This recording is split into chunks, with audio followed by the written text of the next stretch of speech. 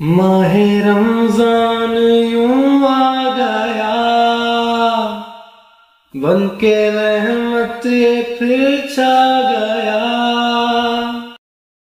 अस्सलाम वालेकुम मैं Saifullah Gundar five minutes with us के साथ क्वारंटीन यूट्यूब रेडियो शो में आपको खुश आमदीद कहते दोस्तों, रमज़ान आने वाला है।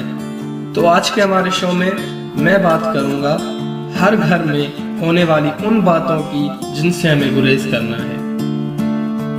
औरत। औरत शहरी में सबसे पहले जागती है और सब घर वालों के लिए शहरी तैयार करती है, लेकिन सबसे आखिर में खाती है। रोजा रखने के बाद दोपहर में बच्चों को खाना खिलाती है। फिर चार बजे के बाद से अफ्तारी तक अपने खानदान वालों के लिए अफ्तारी के तैयार करने में लग जाती है। चावल, पालक, गोश्त, चटनी वगैरह वगैरह तैयार करती है।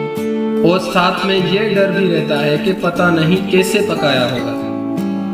सास और ससुर के लिए अलग चीज़ पकाती है। और साथ साथ में अफ्तारी से पहले शोहर के गुस्से को सब्र से झेलना भी पड़ता है। अजान से पहले दस्तरखान लगाना, तारीफ़ तो दूर की बात दो दो रोटियाँ खाने के बाद एक ठंडा गिलास लस्सी मांगना और फिर कहना कि नमक कम है और खास ठंडा नहीं है और अफ्तारी पूरी की पूरी कर ली जनाब ने। इसके बाद छुपके से किसी कमरे में अफ्तारी कर लेती है। तरावी के बाद फिर से हजरात के लिए चाय और मेवा तैयार करती है और फिर से शहरी में सबसे पहले जागती है।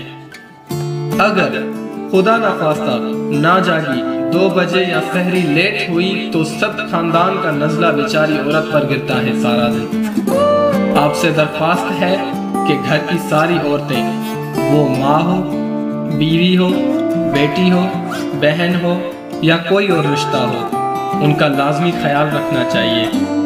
आखिर वो भी हमारी तरह इंसान है। अल्लाह को मानो, अब इस जहालत से निकल आओ।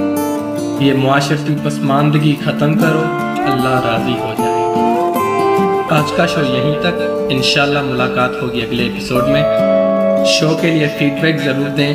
कमेंट्स में हमें ज़रूर बताएँ। और हमारे चैनल को सब्सक्राइब करें, ताकि आपको नेक्स्ट एपिसोड की नोटिफिकेशन जल्द से जल्द मिल जाए। Thank you stay home stay safe